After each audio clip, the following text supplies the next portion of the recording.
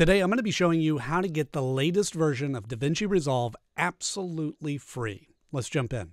So first and foremost, we're going to head over to the website blackmagicdesign.com slash products slash DaVinci Resolve. And you'll see DaVinci Resolve 19. Now, at the time of recording this, this is the latest version that's out there.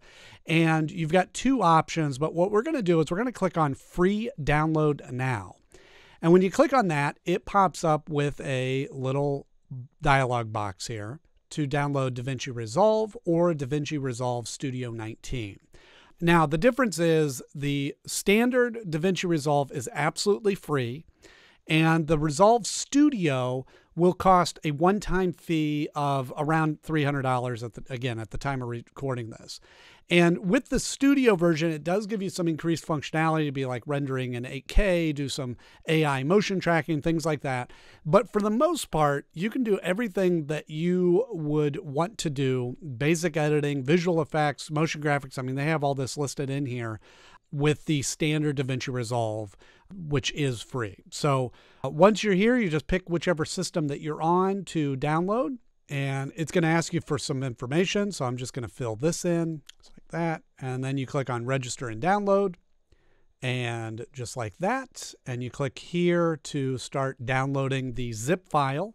All right, and once that finishes downloading, all you want to do is just head over to your folder that you have set to download that in and we're going to click on it's a zip file so it's going to have me unzip that and it's going to open up here just going to open up this file to start the installation process. And it's going to include all the elements that are part of that. I usually just allow the default portion to be installed. Okay and then it'll take you to the setup wizard. Again this might be a little bit different if you're on a mac i'm on a windows but it's just going to walk you through a couple of questions accept the license agreement it's going to ask you where to install it and click on install. And then it'll just begin the installation process here. And the first thing you'll see is just a little box here that shows you everything that's new with DaVinci Resolve 19. So you can read through all that. Click on continue. So I would recommend going through the quick setup just to make sure that everything is uh, the way it should be. You can also skip that if you want. So what it's doing here is it's checking your operating system, checking your graphics card, making sure that you have what you need, click on continue, and then you can go, what type of projects would you like to start with? I think this just the standard HD is good. You also have the Ultra HD, and then you can choose it later, but let's just start with HD.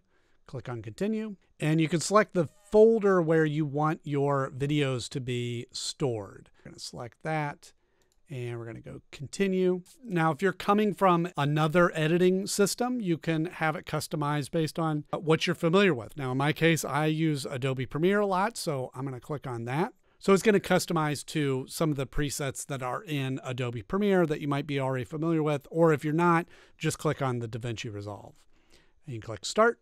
Now, some of these steps take a little bit longer the first time that you do that, and then it opens up and you're in. And now you can begin editing and walking through, uploading your videos, editing them, exporting them. Again, being able to do everything that you need to do from an editing standpoint, all within the free version of DaVinci, which I think is pretty incredible. So I hope you found this video helpful, and I will see you in the next one.